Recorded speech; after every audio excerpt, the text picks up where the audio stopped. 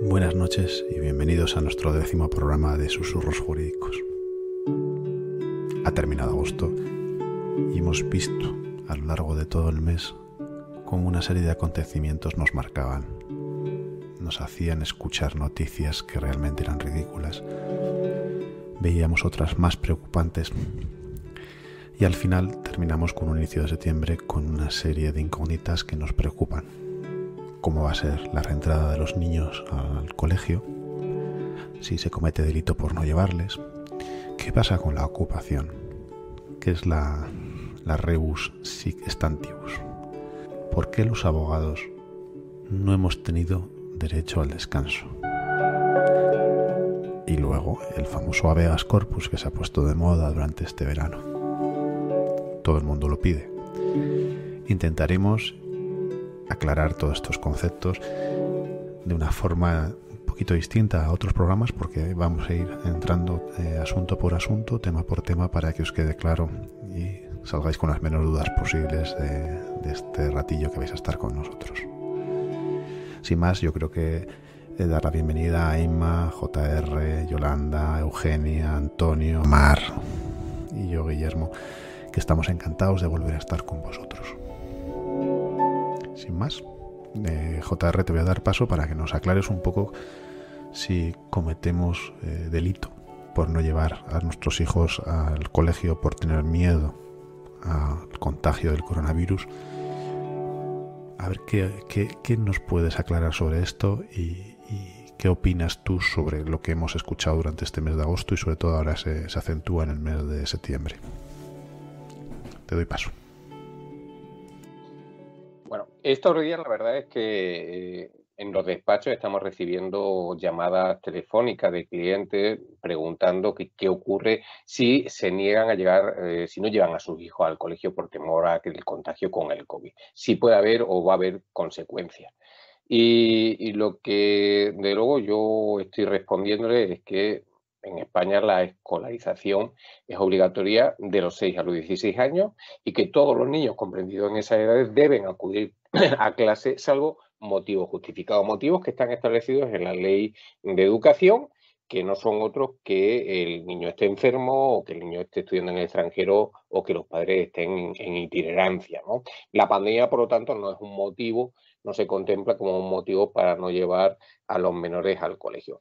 Si no se lleva a los menores, se puede dar lo que se, lo que se denomina asentismo. El asentismo que dependiendo de la comunidad autónoma, porque las competencias en educación están transferidas en su gran mayoría, consiste en que no vaya el niño al colegio sin justificación cinco días consecutivos o cinco días alternos eh, durante eh, un mes.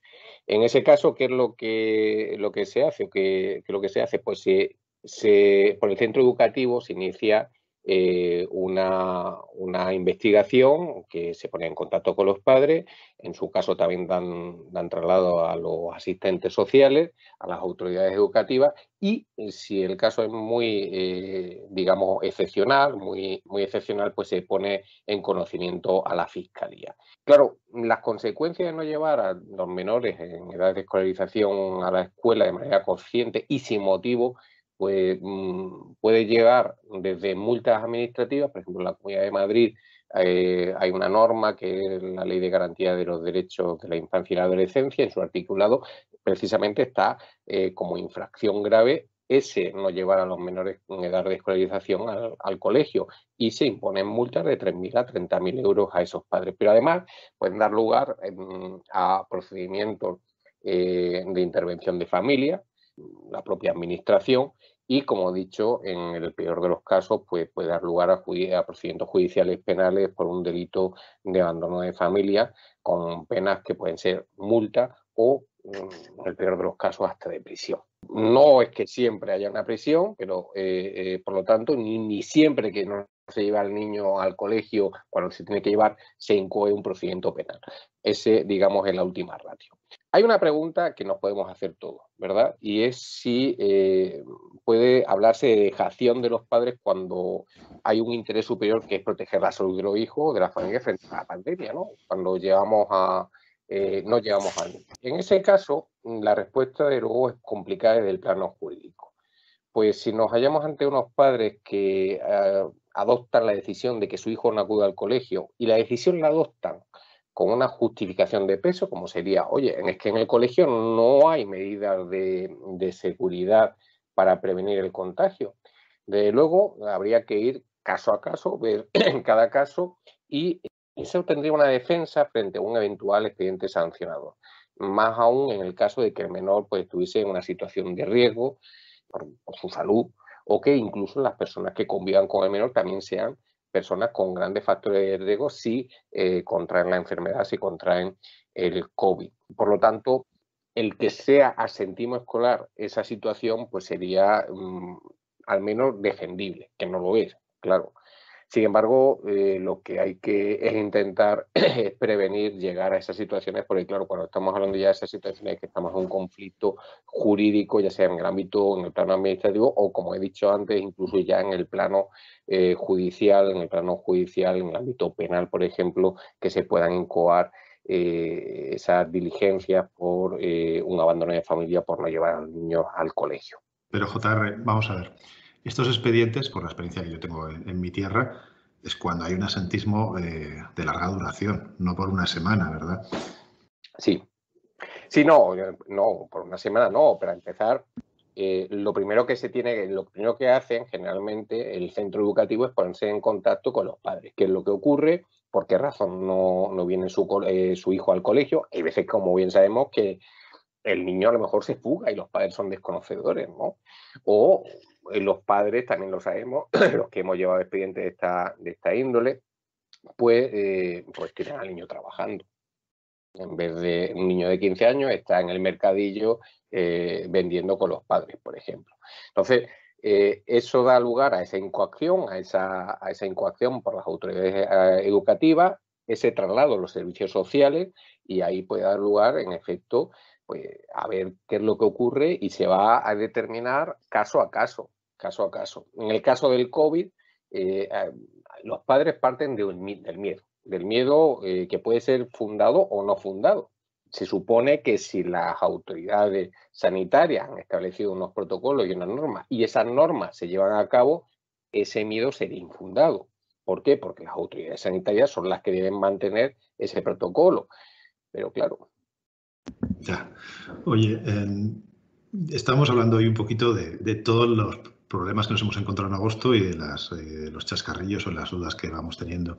Otra de las muy, que, nos o que hemos escuchado muy divertidas es que, eh, creo que ha sido en Castilla y León, Inma, que mm, un gerente o un encargado o un político ha dicho que el no llevar la mascarilla por la calle podía ser delito. ¿Esto es verdad? ¿Es mentira? ¿Es una fake news? ¿Qué es?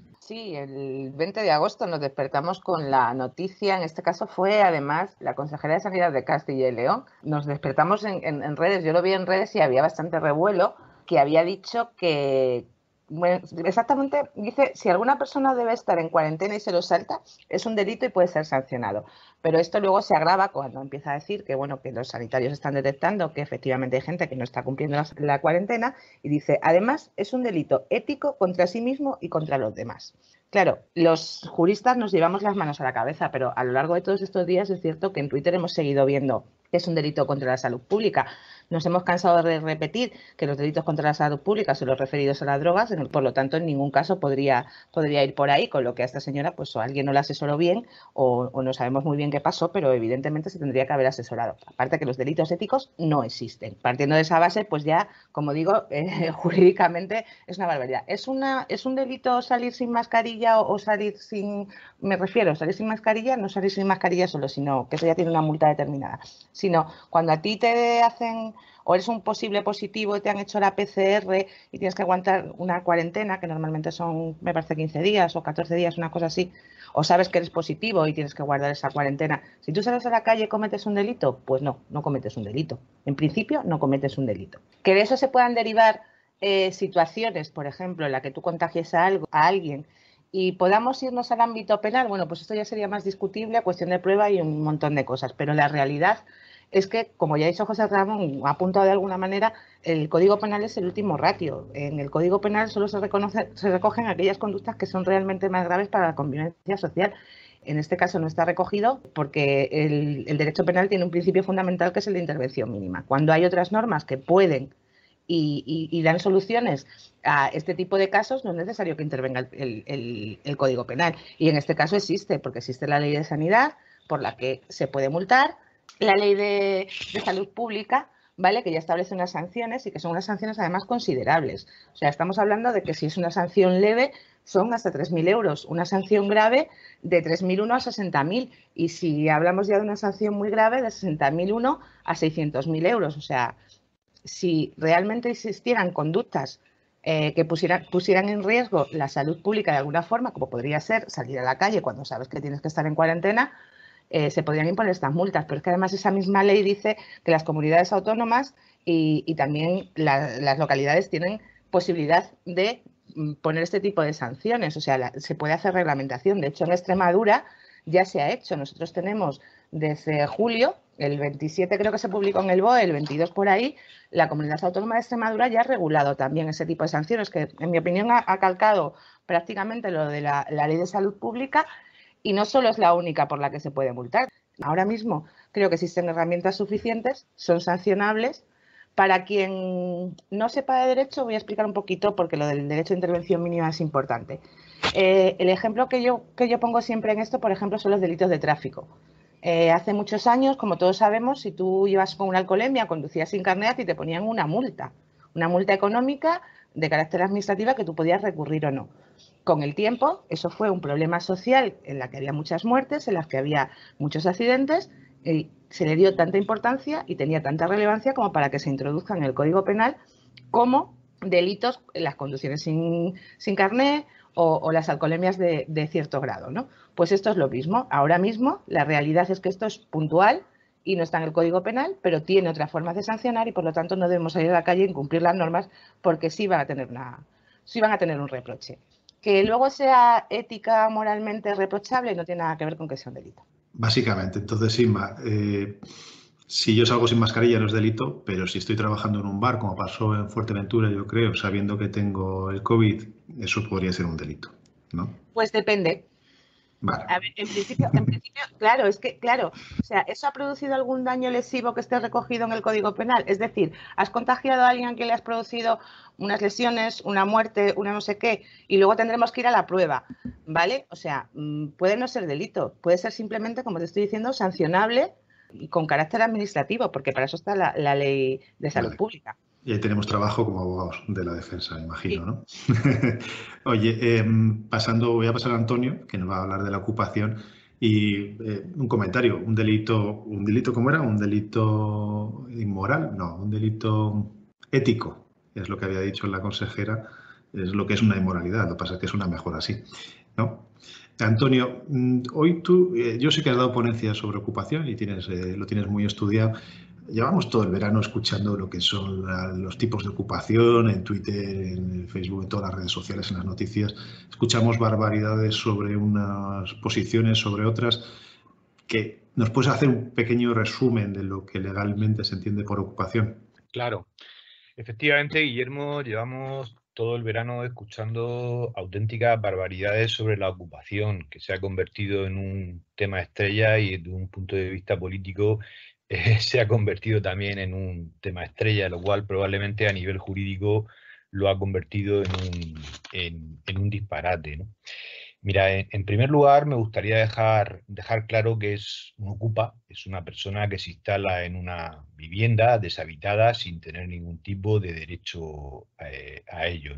Y tendríamos que empezar a diferenciar, lo digo por noticias que hemos leído incluso este verano y hemos escuchado en programas de Antena 3, de máxima audiencia o Telecinco, no tiene nada que ver con aquella persona que verbal o escrita tenga un contrato verbal o escrito y que no pague la renta. Estaríamos ante eh, un arrendatario y no ante un, ante un ocupa. ¿no? Tampoco tiene que ver con el precario y por eso viene con la figura del 2018, porque si bien es, cierto que el precario tampoco paga ninguna renta ni merced, como hemos dicho siempre en derecho, la posición del precarista es que siempre entra de forma autorizada en la casa para que cualquier cualquiera lo pueda entender, estamos en el típico supuesto en que uno le deja la casa, una casa a un vecino, a un familiar, para que pase una temporada, y bueno, y luego el familiar, por lo que sea, o el vecino no quiere irse, ¿no? Ahí estaríamos en el concepto de precarista, porque no tiene título para estar, si bien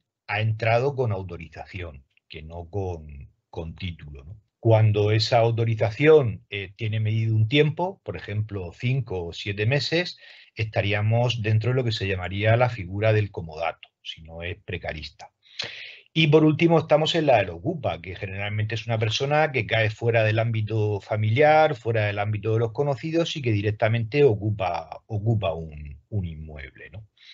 Aquí es donde se ha generado muchísima leyenda urbana, como la de las 24 horas de intervención de la policía, que no figura absolutamente en, ningún sitio, o sea, directamente es que no existe, ¿no? Entonces, pues vamos a intentar poner un poquito de orden en todo eso para, para que sepamos a qué atenernos, ¿no? Para, vamos a ver, eh, en primer lugar hay que dejar claro que, que, no vivimos en un mundo en el cual tú bajes a tomar café y corras el riesgo de que subas una hora después y te encuentres unos señores dentro de tu casa, ¿no? Es decir, no, no es así, ¿no? La mayor parte de las ocupaciones ilegales se producen en viviendas que están deshabitadas, que no, no, son ni siquiera ni primera ni segunda vivienda, son muy poquitos los casos que se producen en primera o, segunda vivienda, ¿no? que es lo que estaríamos dentro del allanamiento de, eh, de morada. ¿no? Es cierto que se ha convertido en un problema importante porque ya no son eh, familias que, no tengan casa y que entran, ¿no? sino que hay auténticas mafias pues, que, operan con el tema de los, que los ocupan, ¿no? que cobran a otras personas precios por buscarles una casa que ocupar y ocupas que ocupan casa, valga la redundancia, y exigen dinero a los propietarios por salir. ¿no? Luego el tema eh, tiene un poco eh, también más de fondo de lo que pudiera parecer. ¿no? En el año 2018 se hace una reforma y se crea un procedimiento nuevo, eh, un interdicto al final de recobrar la, posesión, porque es verdad que en aquel momento el procedimiento civil, que es el que yo entiendo que debe primar sobre el penal, pues funciona de manera, de manera lenta. ¿no? Pero para mí el, gobierno entonces comete un error y es que la legitimación activa se la da solamente a las personas físicas y no a las personas jurídicas. Trata de excluir o excluye expresamente a los bancos, ¿no? Vale, pues como si aquello de que los bancos fueran malos y por tanto, pero bueno, eso es un concepto casi político que no debe regular jurídicamente por, por dos cuestiones muy, muy claras, ¿no? Primero, porque todo el mundo tiene derecho a una vivienda digna, pero es verdad que la propiedad eh, o, ese derecho a esa vivienda digna debe de activarse mediante políticas sociales, ¿no? Y no en función de, la propiedad privada, sea de un banco o sea de una persona física. Y luego, en segundo lugar, porque es que existen daños colaterales, que es lo que estamos viendo todos los días. Hay comunidades de propietarios que son dueños bancos en playas y estamos viendo que se meten ocupas y los afectados son los vecinos de esa urbanización. ¿no?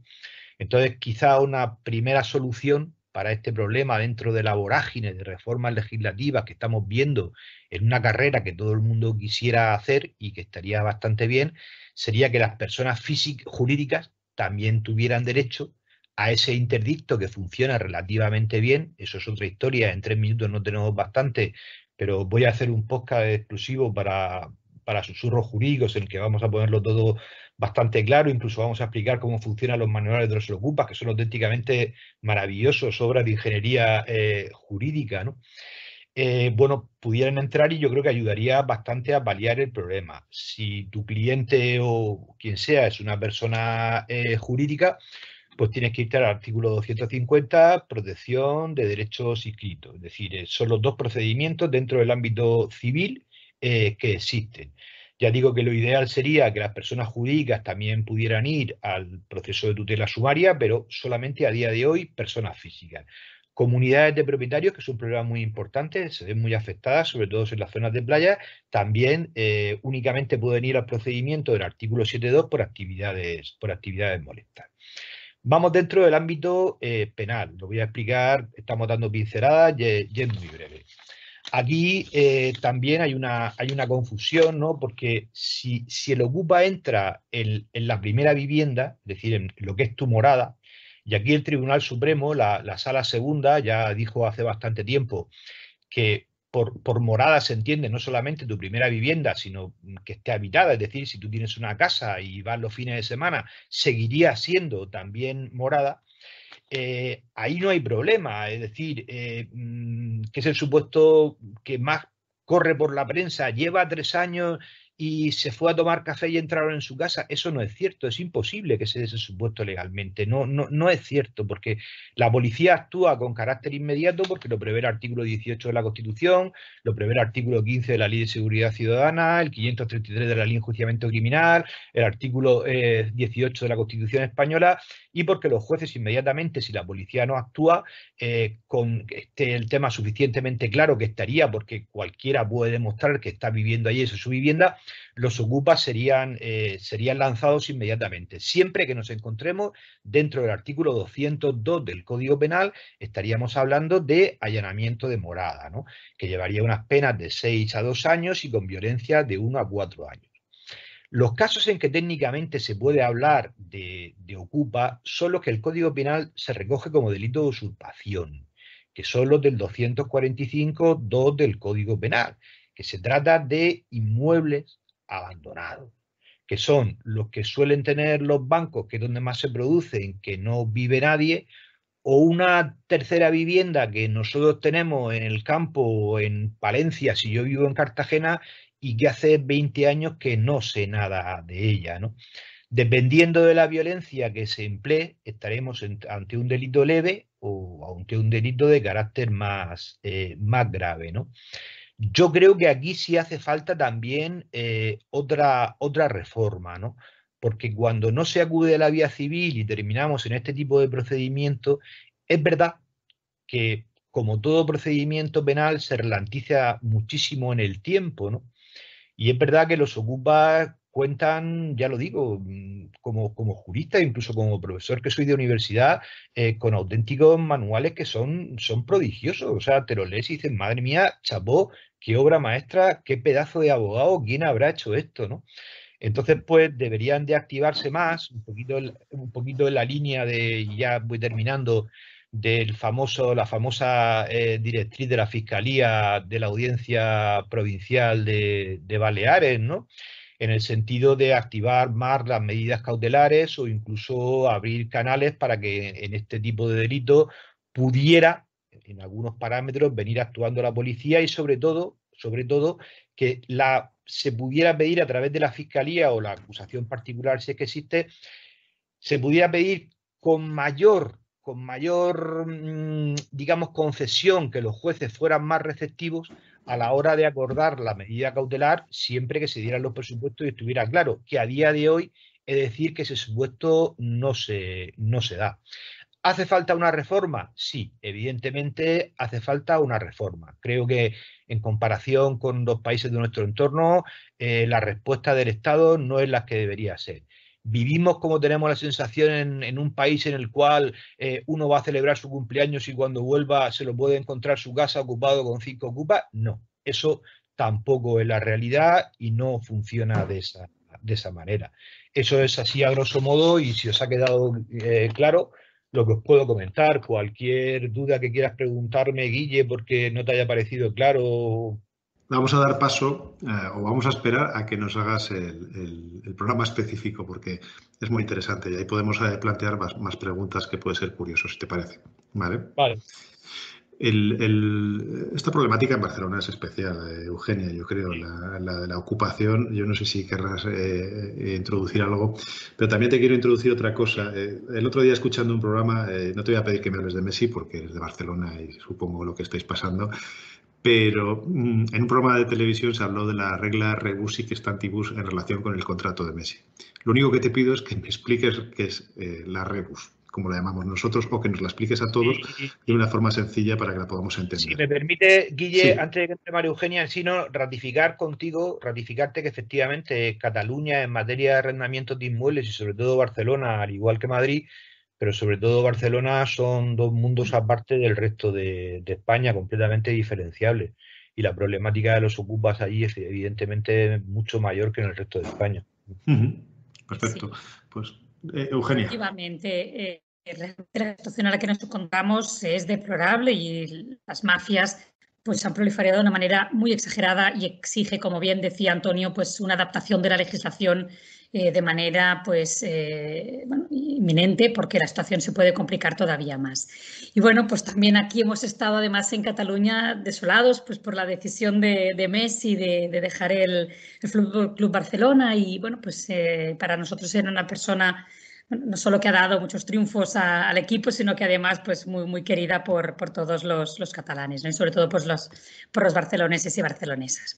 Pero bueno, sí es cierto pues, que hubo un programa ¿no? en el que se hizo alusión a la cláusula rebus sic que es muy importante que, que tengamos claro de qué se trata. Y precisamente eh, haciendo un poco y continuando con, con, Antonio, que hacía referencia a que tenemos que adaptar nuestra legislación a Europa, precisamente con esta cláusula también yo apelo a este llamamiento, a esta reforma legislativa que debemos hacer en España para adaptar eh, estas circunstancias eh, que se están produciendo y estas cláusulas y instrumentos jurídicos que se utilizan en otros ordenamientos jurídicos europeos y que ahora pues voy a exponer porque realmente son duda, eh, sin duda son instrumentos que nos van a ayudar muchísimo en estos momentos de, crisis y, de, situación que, en la que estamos viviendo.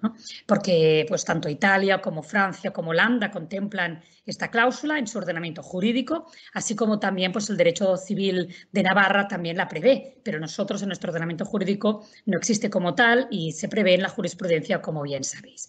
La cláusula rebus pues, es aplicable en determinados casos en los que se ha alterado de forma fundamental y sustancial el contenido económico de una de las obligaciones a las cuales viene eh, contraída una de las partes o, en todo caso, pues, la proporcionalidad entre estas prestaciones, precisamente por haberse producido unas circunstancias imprevistas como las que hemos vivido ahora con ocasión de la crisis del COVID y que han sido mm, de una afectación extraordinaria eh, en, la población, ¿no? en todo su conjunto, de todas las actividades que se estaban desarrollando. La crisis sanitaria pues, ha conllevado una crisis económica y social eh, de una manera em, exagerada que todos hemos podido eh, visibilizar y que sin duda pues, eh, hace necesario que ante la situación en la cual se están encontrando muchos particulares en que se ven compelidos a a no poder cumplir con sus obligaciones, pues eh, tengan la necesidad o puedan verse en la, necesidad de poder revisar estas cláusulas contractuales que en su día suscribieron, con unas circunstancias concretas, en un entorno concreto y que, por lo tanto, al haber variado, han de verse posibilitadas a poderlas modificar. El hecho de, de, mm, de poder hacer y llevar a cabo eh, y aplicar estas cláusulas eh, que se prevén en los contratos, de, como bien decíamos, de toda la legislación europea, pero no en España, permite, sobre todo, el mantenimiento de las relaciones contractuales, que estas relaciones contractuales no se extingan y que, por lo tanto, eh, permite mantener la economía eh, en general de, todo el país, incluso, ¿no? el poder mantener un contrato laboral, poder eh, em, revisar un contrato de arrendamiento en unas circunstancias excepcionales y de manera temporal pues mm, facilitará en todo caso esta permanencia eh, de la relación entre las partes. Eh, con todos esos antecedentes y regulaciones que hacíamos referencia a nivel eh, europeo, resulta evidente que la situación actual pues, nos, ofrece, nos aboca a una necesidad de dar una respuesta adecuada a los problemas contractuales que se están derivando de la crisis económica que estamos sufriendo actualmente y que sobre todo pues vamos a ir viendo cómo la situación puede ir también eh, agravándose. Por lo tanto, mm, es muy importante que nuestro ordenamiento jurídico pueda adaptar estos principios europeos del derecho de la contratación y que lo pueda encajar en nuestro ordenamiento jurídico y regular la cláusula rebus sic stantibus. Nosotros creemos que esta cláusula debe eh, producirse y debe introducirse en nuestro ordenamiento jurídico con la máxima eh, celeridad, porque realmente pues, va a permitir eh, realmente dar mm, un poco pues, una respuesta a estas crisis imprevistas y generales. Ahora ha sido la del COVID, en su momento eh, fue la crisis inmobiliaria también, que, que, dio lugar pues, al primer planteamiento y de, la necesidad de regular la rebus sic stantibus en el ordenamiento jurídico español. Pero sin duda que el derecho creo que, que ha de ser y ha de analizar este procedimiento de cambio y de adaptación jurídica, hemos de ser capaces de, adaptar estas figuras jurídicas a nuestro ordenamiento con, con, celeridad, como bien decía, y aquí pues también los colegios profesionales que estamos viendo cómo se está desencadenando en nuestros despachos, la situación que están viviendo los particulares, que se ven pues bueno, mm, presionados por el cumplimiento de unos contratos en los cuales les es imposible cumplirlo, ¿no? precisamente por esta variación de las circunstancias, pues que les podamos ofrecer esta figura eh, tan necesaria como es la cláusula rebus sic que, claro, vuelvo a decir, es precisamente para modificar una relación contractual para garantizar su eh, su supervivencia, eh, no para resolverla, sino para garantizar esta supervivencia y que transcurrido el periodo de crisis, pues pueda volver a la normalidad y se pueda eh, volver en la situación de la cual partíamos. ¿no? Por lo tanto, creo que esta crisis nos tiene que hacer reflexionar sobre todo Mm, respecto al principio de solidaridad. Creo que es un momento en el cual todos tenemos que ser muy solidarios y yo siempre creo que esta cláusula precisamente hace un poco mm, este llamamiento a esta eh, solidaridad que debemos tener todas las partes que estamos involucradas en, contratos eh, de todo tipo, en todas las esferas del ámbito jurídico, social, económico, cultural y que por lo tanto mm, podamos hacer estas modificaciones eh, puntuales a estos contratos que van a permitir pues, que realmente pueda pervivir la relación. Mm, eh, creo que es muy importante que esta figura, eh, que es válida, que es eficaz, eh, que puede realmente pues, hacer pervivir estas relaciones se adapte en nuestro ordenamiento, como os comentaba. Mm, bueno, yo creo que, es muy importante que el ciudadano conozca que existe esta posibilidad, ya no solo por la, en estos momentos por la jurisprudencia aplicable en cada uno de los casos, sino porque realmente pues, bueno, pues tenga la posibilidad de acudir a la misma. Un poco pues es lo que yo creo que es lo más importante, Willy, en estos momentos que, que se tengan conocimiento, ¿no? Eugenia, has hablado de solidaridad. solidaridad. Eh, ¿No crees que es más inteligencia económica? Es decir, eh, bueno, claro, evidentemente.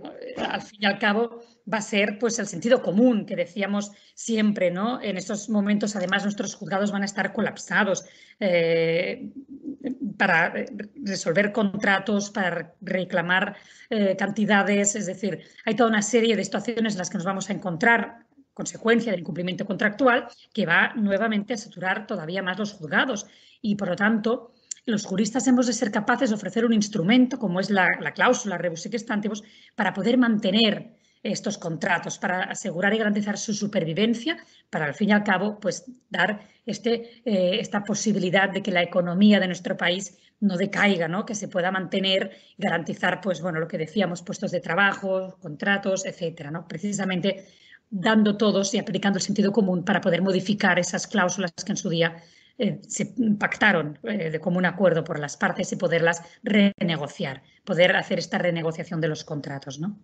Sí, me recuerda mucho al principio de la ley concursal cuando proponíamos convenios y ningún banco, a nadie los aceptaba, ni los, ni los proveedores, porque entendían que perdían un poquito, un 25, un 30 al cabo de cuatro años de, concursos, todo el mundo aceptaba cualquier tipo de convenio porque entendían que era la única forma de cobrar un poquito. Un poco la regla es lo mismo, ¿no? Exacto. Yo creo que sin duda va a ayudar a paliar la crisis. Eh, el aplicar la, cláusula ayudará a paliar esta crisis y, a poderla superar de una manera más, más eh, digamos, eh, bueno, mm, más, seria, ¿no? sí. Organizada. Sí. Yolanda, los juzgados están colapsados. Se toma una medida estupenda para descolapsarlos, que es habilitar el mes de agosto a los abogados. Derecho a descanso. ¿Tenemos derecho a descansar los abogados o somos esas personas tan malas que, ganamos tanto dinero y que vivimos tan bien que no tenemos derecho a nada, absolutamente nada? ¿Tú qué opinas? Uy, si viviéramos tan bien, sí que tendríamos derecho a descanso porque no estaríamos trabajando en esta profesión. Bueno, lo que ha pasado este mes de agosto, bueno, pues para qué, para qué volver sobre, sobre lo que ya ha pasado. Quiero decir, ya estamos a día 1 de septiembre y es un absurdo, pero sí hay que tener memoria, sí hay que tener memoria de lo que ha pasado, de, por qué nos hemos visto abocados a esto. Que evidentemente todos coincidimos en que todos, porque además todos los sectores coinciden en que no es una medida que sirva a habilitar 20 días de agosto para desatascar el, tremendo atasco, lo, terrible que tenemos la situación de la justicia en este país. Lo que pasa es que esa es una medida fácil y gratis y de quedar bien ¿eh? en lugar de aportar dinero, de aportar medios que sean suficientes tanto para una transformación digital seria como para, eh, pues, como para instaurar nuevos juzgados, nuevo más personal en todos los juzgados tramitando. Eso cuesta mucho dinero, entonces lo fácil y lo que vende en prensa, es decir, han estado tres meses parados en sus casas, pues ahora que trabajen 20 días de agosto, que parece ser que no es tanto. Bueno, evidentemente esto es un absurdo, cualquiera con dos dedos de frente es capaz de verlo, porque todo el mundo efectivamente tiene derecho a descanso.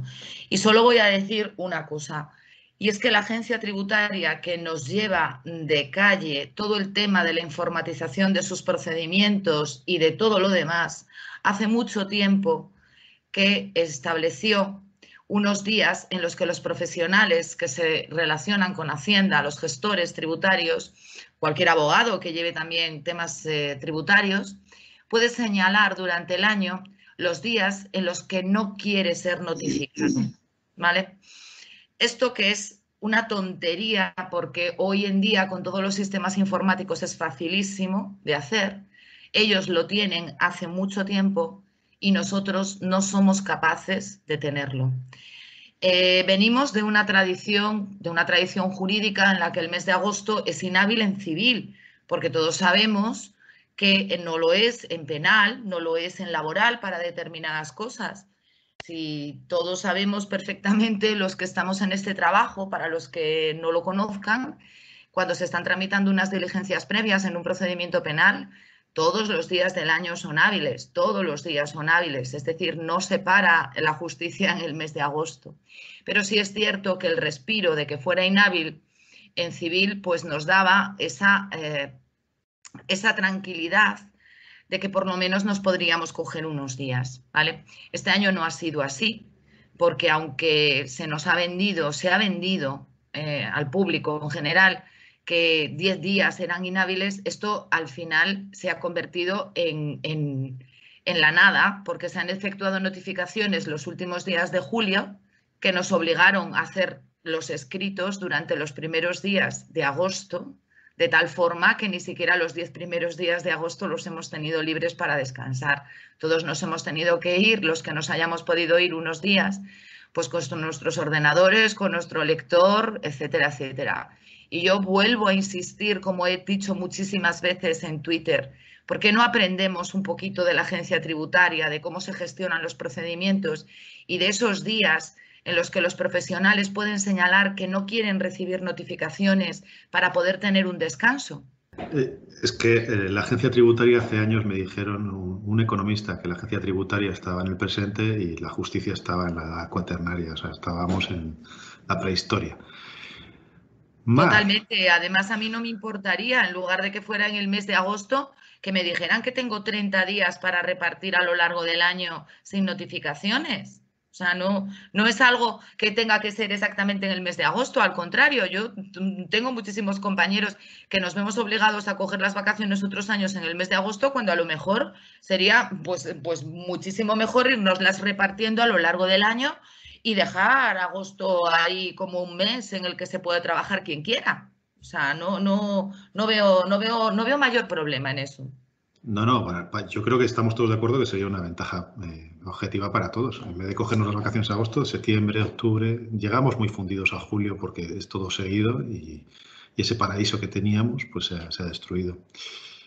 Mar, Mar, te voy a preguntar sobre el habeas corpus. Eh, otro de los chascarrillos o de los problemas que hemos tenido este verano es un vídeo de un policía local intentando poner una multa a una chica y ella pidiendo el habeas corpus. Eh, si nos lo explicas, porque eh, cuéntanos. Sí, efectivamente. Yo vengo a hablaros hoy aquí del procedimiento de habeas corpus, corpus Christi, había un corpus, corpus corpus, totus corpus y hasta aleas hasta él. O sea, este procedimiento se le ha llamado de las mil y una manera. Yo creo que de todos los latinajos que usamos en derecho, el habeas corpus es el, que todo el mundo sabe o todo el mundo cree saber, el que nadie conoce y el que, al que todo el mundo le pone nombre. La verdad es que es un procedimiento bonito, curioso, pero que hay que conocerlo. Eh, como decía la Policía Nacional en el tuit, en dicho tuit del 20 de agosto, no es ningún conjuro mágico. O sea, eh, no es, a ver, a corpus, ahora, y sale ya, no, no, es un procedimiento que nuestra Constitución recoge y que, que que lo que hace es preservar los bienes más preciados que tenemos después de la vida, que son la integridad física y la, y la libertad. O sea, es un procedimiento bonito, un procedimiento rápido, es un procedimiento sumario y es un procedimiento además que hay que saber utilizar. Consiste básicamente en poner a disposición judicial de la persona ya detenida. O sea, no vale que me estén poniendo una multa de tráfico y yo pida un habeas corpus. ¿Por qué? Porque el habeas corpus de lo que se trata es de ver la legalidad que pueda tener esa detención. Nuestra Constitución, como os he dicho, la regula en el artículo 17.4. Lo que viene a decir ahí básicamente y únicamente eh, eh, es que da pie a que una ley lo regule. La ley que lo regula es la 6 barra 1984, 24 de mayo, por si a alguien le, interesa profundizar, porque claro, yo lo que voy a dar aquí son pues, cuatro, cuatro pinceladas. El procedimiento, pues mm, la propia ley nos lo dice, mm, mm, va dirigido a, evitar que cualquier detención sea arbitraria y vulnere derechos de las personas detenidas. ¿Para ello qué hace? Pues, pues eh, se basan cuatro pilares fundamentales que hacen que, esto pueda ser así. Es un procedimiento muy ágil, muy rápido. En 24 horas eh, la persona detenida tiene que estar puesta delante de un juez, oída la parte, oído el Ministerio Fiscal y el juez ha debido de resolver todo eso en 24 horas. Es un procedimiento muy sencillo porque no requiere formalismo ninguno, no necesita abogado, no necesita procurador. Ahora os diré las personas que pueden pedirlos, pero la, gama es amplia, hay muchas personas que lo pueden pedir y sobre todo es un procedimiento general. Nadie, nadie, ni particulares, ni autoridades, inclusive la autoridad militar, tienen que estar sujetos a la ley y al derecho para proceder a dichas detenciones. Si se salen, sean quienes sean, están sometidos a la autoridad judicial. Mm, la ley regula expresamente las causas de lo que son las detenciones ilegales. O sea, no vale que yo diga lo que hemos dicho antes, ¿no? Volvemos al ejemplo. Me están poniendo una multa de tráfico, a habeas corpus, ponerme delante de un juez. No. La ley dice que, está limitada a aquellas detenciones donde, donde no concurran los supuestos legales que la LECRIM dice que tiene que haber con los requisitos que además tienen que haber para dichas detenciones. También es aplicable a las personas que están internadas ilícitamente en algún lugar o las personas que están detenidas por más tiempo del que deberían de estarlo, 24 horas, 72 horas. Y, eh, y, luego también es muy importante para las personas que ya privadas de libertad se les está vulnerando otro tipo de, derechos fundamentales, como puede ser, como hemos dicho antes, la integridad, la integridad física. ¿Personas que lo pueden pedir? Eh, hay una amplia gama, hay una amplia gama porque evidentemente si la persona está detenida y se le están vulnerando los derechos, pues a lo mejor no es lo más apropiada, porque evidentemente no puede. Pero la ley permite que el detenido, como hemos dicho, que sea su cónyuge, que sean los descendientes, que sean los ascendientes o que sean los propios hermanos. Quien esté fuera puede pedirlo delante del juez. Puede hacerlo el defensor del pueblo, puede hacerlo el Ministerio Fiscal y puede hacerlo el propio juez de oficio. ¿Dónde? Ante el juzgado, ante, ante el juzgado, me callo. No, no, eh, me estaba riendo Mar porque en uno de los vídeos que hemos visto hay un, chico, hay un chico grabando con el vídeo y está diciendo, pido el habeas corpus, pido el habeas corpus.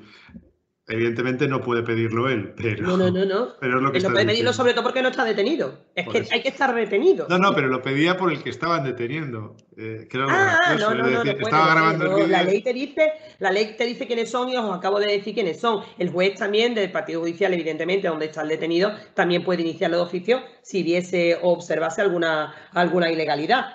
Ya lo he dicho, tiene que ser delante del juez donde está o donde se tuviera conocimiento del último paradero del detenido. Y como os he dicho antes, en 24 horas, ese juez tiene que, mediante auto, pronunciarse, pronunciarse perdón, acerca de la vulnerabilidad, o sea, de la vulneración de esos, de esos derechos. Podríamos estar hablando, pues, siete siglos de, ya os he dicho, que el habeas corpus es el, más recurrente de, todo, de todos los latinajos que tenemos y cualquiera que nos hayamos dedicado un poco a, a detenidos, observaremos que nosotros no conocemos el procedimiento, pero que ellos ellos lo conocen perfectamente y lo primero que te dicen es un habeas corpus. Hay que tener mucho cuidado ya como profesional de interponerlo porque muchas veces lo que podemos hacer con el habeas corpus es entorpecer la función, porque daos cuenta, y esto es muy importante, que el habeas corpus únicamente se va, en, o sea, en, la resolución judicial únicamente se va a pronunciar acerca de eh, la ilegalidad de la detención, en ningún caso sobre el fondo del asunto por el que se haya detenido. Con lo cual, eh, podemos, en vez de, aligerar, entorpecer, porque eh, primero va a tener que pronunciarse el juez acerca de la legalidad o ilegalidad de la detención y luego entrar al fondo del asunto. Mar, aprovechando ya que hoy hemos estado dando clases de derecho, te despedimos, Eugenia, que te estás yendo, te despedimos. una cosa, Mar, ahora un poco para todos. Hemos estado viendo una serie de barbaridades jurídicas este, este, verano. Tú has tenido un tuit que se ha hecho vírico, que ha sido muy divertido, que era sobre eh, un divorcio y... el, divorcio de Enrique Ponce. Y... Eso, explícanoslo. Tremendo, tremendo, tremendo. Espérate que me cojo las notas, porque es que el tuit, el era sobre una lectura de, o sea, sobre un artículo de, de lectura en la que el periodista, y conste, que aprecio muchísimo, muchísimo, muchísimo, ¿eh? La labor de los periodistas. No es mi, intención, ni mucho menos, hacer un chascarrillo de, ninguno de ellos. Lo que pasa que sí, es cierto que como periodista y como medio de comunicación que es, pues tiene una cierta responsabilidad. Y ciertamente era una barbaridad encima de la otra. O sea, eh, em, por ejemplo, pues decía que había que poner, que como era, o sea, que había que interponer el divorcio eh, ante un contencioso Claro, había mezclado el concepto de divorcio contencioso, que quiere decir que no es divorcio de mutuo acuerdo, que no de conformidad, y había mandado a la jurisdicción contenciosa un, o sea, un, divorcio que, era de mutuo acuerdo. En fin, como esa, como esa mil, mil barbaridades que seguro que algunos de vosotros también conocéis y queréis comentar. Como por ejemplo que la resolución o lo presentaba un magistrado, creo recordar. Sí, sí, que además representaba las dos partes, ¿eh? Pero bueno, a mí lo que más ya como penalista me llegó al alma fue lo de la conformidad, que yo lo que, lo que, lo que a mí me venía a la cabeza es una reducción en la pensión de alimentos del tercio de, del tercio de la pensión por la, una, una, encima de la otra, una encima de la otra. Yo sé que Antonio ha estado, ha estado este mes de agosto eh, criticando muy duramente todos los ataques a lo que era el derecho. He visto tweets muy duros sobre comentarios de, gente que, atacaba el principio de presunción de inocencia, que se atacaba eh, una interpretación de echar a patadas a los ocupas, de eh, una serie de cosas que yo no sé si eran políticos, eran periodistas o eran simplemente tuiteros que, hacían comentarios, pero que decían verdaderas salvajadas. Yo no sé si Antonio recuerdas alguno. Yo recuerdo haber leído dos o tres, pero está muy bien seguirte este mes de agosto porque he visto he visto que puntualizabas muchos de esos tweets que eran realmente eh, barbaridades jurídicas. Sí, es que realmente ha habido muchos, ha habido tanto políticos como, como periodistas, como eh, tuiteros, quiero decir, ha habido de todo, y en las cuales atacaban el Estado de Derecho haciendo una demagogia absolutamente brutal sobre determinados temas que llegaban desde sacar a rastras a los ocupas del coche, que es lo que había que, hacer, eh, hasta bueno, posturas llevadas al lado contrario de, la izquierda, diciendo que si construían eh, bibliotecas o, hacían poco menos que, cines de verano, pues que ya no era un delito, ¿no? Cuando a mí que me expliquen por qué, por la ocupación ilegal se sigue produciendo igual, ¿no? Entonces, claro, por ambos lados es una demagogia tan, tan grande que sí, bueno, me lleva a defender el Estado de, de Derecho, ¿no? Y, luego también he, comentado varias veces y me daba, a veces me daba miedo, ¿no? Porque los periodistas yo creo que muchas veces no son conscientes de lo importantes que son en un Estado democrático y de la responsabilidad que, tienen, ¿no? Y con respecto, por ejemplo, a la noticia de, del Ocupa, que, también se hizo bastante viral, de este señor que había recuperado su casa tras entrar, que se habían ido los Ocupas de, vacaciones a, a Mallorca Canastos, esto se trató en un programa de máxima audiencia en Antena 3 por la mañana, se trató en un programa de máxima audiencia en Telecinco, salió en ABC, salió en La Vanguardia, es decir, salió en periódicos y medios de comunicación muy serios. Era todo mentira. Era todo mentira y lo trataban con la mayor naturalidad. Este señor decía que había hecho un contrato verbal y lo seguían tratando los medios de comunicación como un ocupa. Este señor decía que había puesto un procedimiento judicial y se veía que lo había perdido y bueno, lo seguían tratando como un ocupa, que oye, tenía un morro espantoso porque llevaba ahí cinco años, pero no era un ocupa. Este señor al final confiesa que pierde el primer pleito y que no tiene más ganas de gastarse el dinero y bueno, pues no hace nada y se queda ahí, ahí dentro, muy mal por parte de ellos, pero bueno, también una actividad muy grande, ¿no? Pero bueno, el caso a lo que voy al final, toda España estaba convencida de que ese señor era un ocupa. Y ese señor no era un ocupa. Y desde el primer día me dio la gana de decirlo y me dio la gana de explicarlo porque me da bastante rabia cuando a la gente se le da una idea equivocada de lo que es y se la confunde. Como dice Mar, no quiero decir nada en contra de los periodistas, que va, son importantísimos, pero sí tienen una responsabilidad que en esta ocasión pues no supieron, no supieron medir y creo que es muy importante. Tienes toda la razón del mundo. O sea, está bien que empecemos a corregir porque también es, es una forma de que aprendan, ¿no? Sin más, y ya para cerrar el programa, me gustaría hablar de Esencia de Mujer, que es una película que me marcó en, la infancia mucho por el desarrollo de la misma, que es espectacular. Pero sobre todo, toda buena película termina, primero va acompañada de una buena banda sonora, disfrutarla, y segundo, va eh, acompañado con un cierre espectacular. El cierre igual no es jurídico, pero se puede aplicar al mundo jurídico, a los abogados. Es un discurso sobre la integridad que os acompañaremos en, la descripción del podcast para que lo podáis ver completo, aunque os recomiendo que veáis toda la película. Viene a decir en el discurso final que en nuestra vida hay muchos caminos, que el camino más complejo posiblemente es el que nos obliga a cumplir con nuestros deberes morales con nuestras obligaciones. Eso posiblemente no nos dé dinero, posiblemente nos haga daño, nos quites la salud, pero nos hará crecer como personas, nos hará sentir que lo que hacemos tiene un significado,